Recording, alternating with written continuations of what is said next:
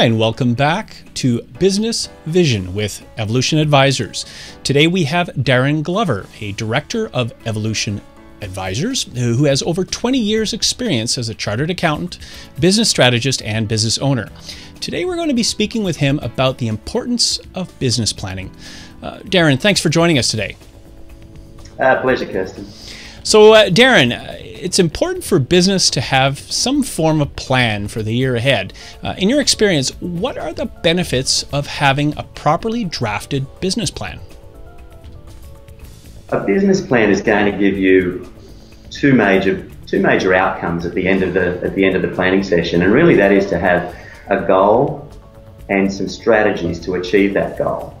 So importantly, it gives the business some direction about where they're going and how they're going to get there. Um, and flowing on from that, you'll find the benefits are going to be in terms of decision making. You'll be able to have a framework or a point of reference to be able to, to be able to make better decisions with respect to your business, and you won't waste time on matters that really don't align with the strategy of achieving your goal. The other benefits include communication you're able to, with a written business plan, be able to communicate that back to your team and your staff and, and to have your team on board and in line with the, the vision and the strategies for your business is a very powerful thing because it can help that business really drive forward at a much more rapid rate than if, if you have it all in your head. And finally, it's going to help the business plan for the resources required for the, the period ahead. So you know when when you're going to require capital for the likes of um, HR, IT investment, and the like. So, um, very important in those areas, Kirsten. Hmm. So, for the for the viewers watching who are, who are in the process of putting together a business plan or, or who are going to be uh, doing so kind of in, in, the near future, what advice would you give them regarding critical areas uh, that they should cover? Yeah, well, as I mentioned, the, the critical thing coming out of a business plan is really going to be ensure that ensure you've got a, you get your goal and your strategy set when you have your planning session. And as part of uh, looking through or determining your strategies, you're going to be weighing up things like uh, HR, IT requirements, financial requirements, business premises, and uh, and marketing as well. So they're the sorts of things that you're going to be considering when you're working through a business plan. Mm. And uh, you know, I just I just did a Google search, and there, and there are many organizations offering a business planning service. So, what should individuals look for when when selecting an external organization to, to help them with their business plan? Yeah, Kirsten, it is very important that uh, you select a a qualified person to be looking after your business planning needs.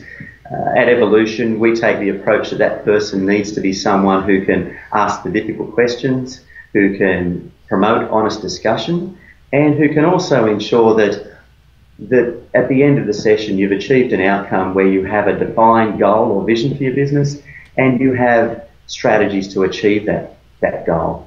Now, in reviewing the strategies, it's important to make sure that those strategies are specific, they're measurable, they're achievable, they're realistic, and they're time bound. So that's what we call smart strategies. And if you can make sure that your strategies are smart, then you're going to have a very robust business plan that'll go a long way towards achieving the vision and the goal that you set for your business.